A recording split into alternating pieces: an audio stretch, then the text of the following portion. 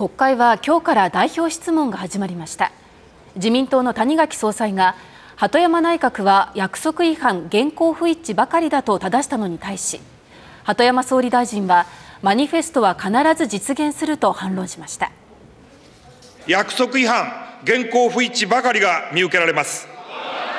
政権を取ったらがらりと変わるご都合主義が許されていいもんでしょうか。4年間におきます国民の皆様方との契約であります。当然政治家としての責任は問います。新政権発足以来鳩山総理岡田外務大臣北沢防衛大臣等